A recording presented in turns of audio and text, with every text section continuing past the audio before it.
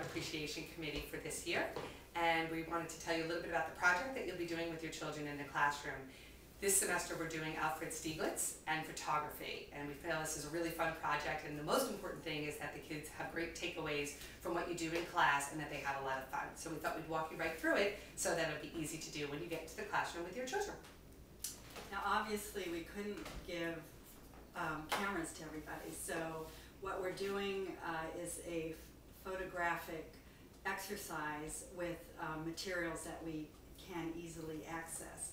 But some of the most important things to look at, and we have all of this written down for you, so you'll have a cheat sheet as it were, is to talk to the children about the subject that they're choosing, meaning what is the item that they're going to be drawing. Actually, we're going to be using charcoal.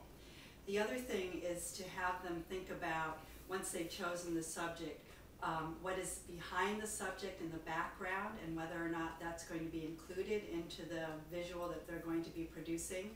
And also what is in the foreground, meaning what is in the front of the subject that they're going to be drawing.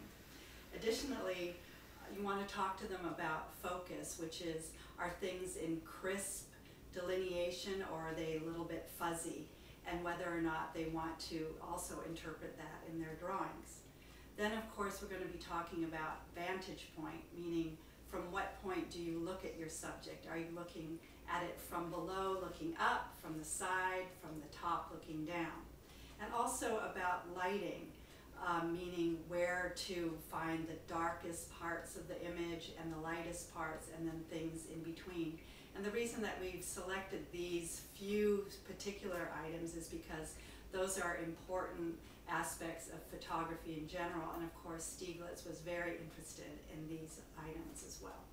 So the goal of the project really is to give the kids a chance to take their own photo, um, but again, not with cameras. So what we've done is we've created a pre-cut frame like this, and it's black. And so we'll give the children a chance to look through it as if they're looking through the lens of a camera so that they can capture the different elements that Maury just discussed, what vantage point, the lighting, um, and all the different elements of photography. And then they'll be doing this with a partner. Then they'll be comparing what they chose. So if they chose something, a still life or a portrait or something in the classroom, they'll both choose that same visual and do their perspective on what they chose and then be able to compare notes, which will be a lot of fun in the class. So again, we're going to talk about the materials that we're going to be using. Um, we are, uh, since Stieglitz mainly worked in black and white photography, we felt that the charcoal would be a good medium to uh, work with.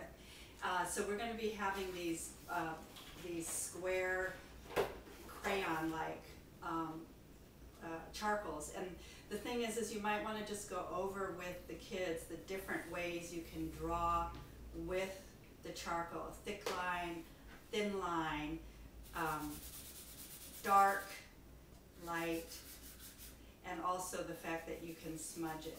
Now, charcoal is a little bit messy, but we, we know that uh, kids probably like that. Uh, that's why we're asking that everybody bring um, an old t-shirt to cover themselves up uh, during the process. So we'll have the charcoal, we'll have the paper, uh, we'll have wipes, again, to take care of the messiness.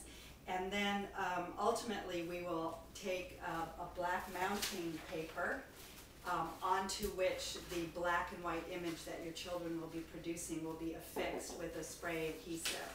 And so uh, when, when the, how is this, this will be the final product, as it were, of course, with your children's drawing on this.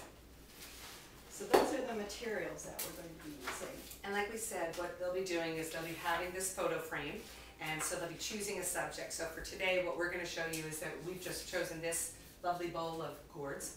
And so we're going to choose them from different points of view, um, Maury and I, so that we can then compare notes and see what we chose. Um, I'm going to do a far away um, shot, and Maury's going to choose something close up, and then we'll be able to compare notes so what I'm going to do, I children, they can, once they decide in pairs what their subject is going to be, they'll be just doing like this, which is sort of what a camera does with the focus. So I decided that I'm going to look at this gourd right here.